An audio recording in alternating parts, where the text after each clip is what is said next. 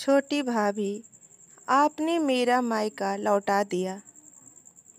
पेड़ पौधे खेत और घर सब तेज़ी से पीछे की ओर भाग रहे थे और मेरा मन भी मेरे बचपन की ओर भाग रहा था। अशोक भैया, मैं और विनीत, जिसे प्यार से मैं बीनू कहती, अपने माँ बाबूजी के साथ बनारस में रहते थे। बाबूजी पोस्ट ऑफ़िस में बड़ा बाबू थे। माँ एक घरेलू महिला।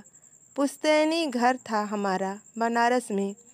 कमाई तो ज़्यादा नहीं थी बाबूजी की, लेकिन प्रेम बेहिसाब था।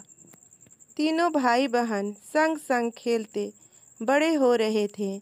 बहुत मेहनत से बाबूजी और माँ ने हम तीनों भाई बहन को पढ़ाया लिखाया था। अशोक भैया की नौकरी बैंक में लग गई। अच्छी नौकरी थी। रिश्ते भी बड़े बड़े घरों से आने लगे। सब देख सुन के रीचा भाभी का परिवार पसंद आ गया सबको। भाभी भी देखने में सुंदर और पढ़ी लिखी थी। जल्दी शादी हो गई। मायका समृद्ध था। भाभी का खूब दहेज मिला। साथ में भाभी का सामान भी एक से बढ़कर एक था। इतने सुंदर सुंदर गहने, कपड़े, मेकअप का सामान देख मेरी आँखें फटी रह जाती।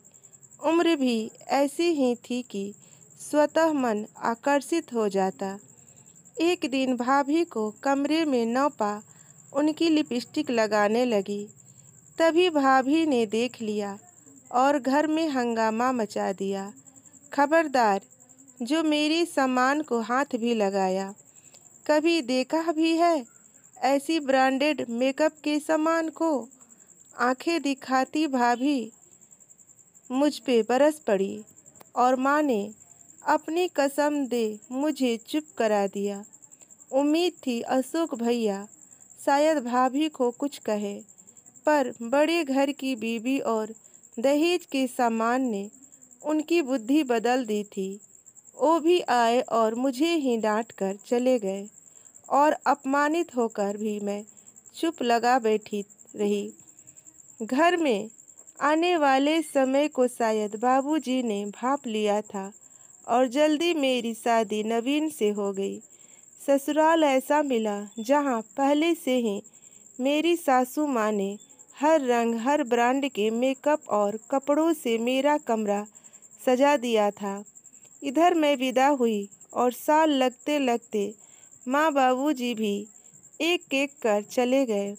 अशोक भैया तो भाभी के पल्लू से पहले ही बंध गए थे और भाभी ने भी मुझसे कोई संबंध रखना उचित नहीं समझा। मेरा मायका अब ख़त्म हो चुका था।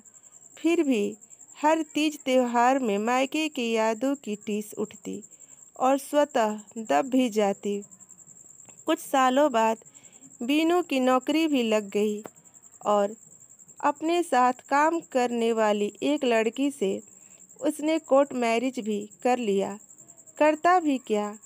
कोई बड़ा था भी नहीं, जो उसे घोड़ी चढ़ाता।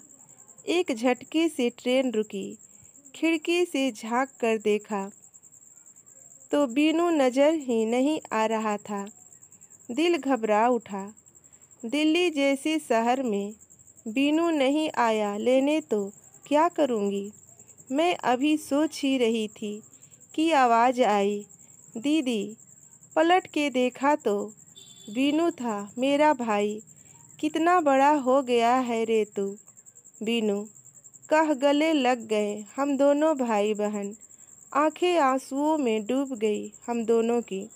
चलो दीदी, सामान उठा, हम घर की ओर चल दिए। दरवाज़ा रितु ने खोला। मेरी बीनू की पत्नी, गुलाबी सूट बड़ी बड़ी आँखें और मुस्कुराता चेहरा, झट से मेरे पैर छू गले लग गई, जैसे बरसों से जानती हो। मैंने बीनू को देखा तो वो भी मुस्कुरा रहा था। सफ़र कैसा था दीदी? बढ़िया था। रितु, कोई परेशानी नहीं हुई, मैंने कहा। नहा धोकर आई तो खाना तैयार था। देखो।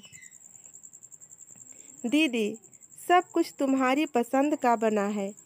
आज ये देखो, दही बड़े भी बनाए हैं। रितु ने, याद है, माँ बनाया करती थी और आप चुपके चुपके कितना खा जाती थी। उत्साह से बीनू बोलता जा रहा था। खाना बहुत स्वाद बना है। ऋतु मेरी कहते हैं बच्चों सा चेहरा खिल उठा। दो दिन रही वहाँ और दोनों दिन मेरे छोटे भाई भाभी ने मुझे सिर आँखों पे बिठा के रखा। थोड़ा अजीब भी लगे, आदत ही नहीं थी मायके के ठाठ और मायके के लाड लगवाने की। वापस आने वाले दिन, रितु सुंदर सी साड़ी, बिंदी सिंदूर और एक लिफाफा लेकर आई। ये भी रख लीजिए, दीदी। नहीं नहीं, इसकी क्या ज़रूरत है रितु? क्यों नहीं, दीदी? अगर माँ जी होती तो आपको देती ना, फिर भी आप मना करते। क्या ये तो आपका हक है? तो हक से लीजिए, दीदी। अपनी छोटी भाभी के मुँह से ये सब सुन आँखें बरस पड़ी। सच कहा रितु, ये तो मेरा हक है, ज़रूर लूँगी। और दोनों ननद भाभी, गले लग रो पड़ी। हमें देख, बीनू की आँखें भी भर आई। मुझे पता है दीदी, इतनी बार बुलाने पर भी आप क्यों नहीं आती थी? लेकिन दीदी, सारी भाभियाँ एक सी नहीं होती। आपका मायका हमेशा बना रहेगा, ये मेरा वादा है। अपने भाई भाभी को ढेरों आशीर्वाद और प्यार दे। मैं आ गई वापस अपने ससुराल। अगली छुट्टियों में वापस जाने को, क्योंकि मेरी छोटी भाभी ने आज मेरा मायका जो लौटा दिया था। दोस्तों, आपको हमारी कहानी कैसी लगी? आप इसे लाइक शेयर कमेंट करके बताइएगा। और रोज़ ऐसी ही नई नई कहानियाँ सुनने के लिए हमारे चैनल को सब्सक्राइब कीजिएगा। धन्यवाद।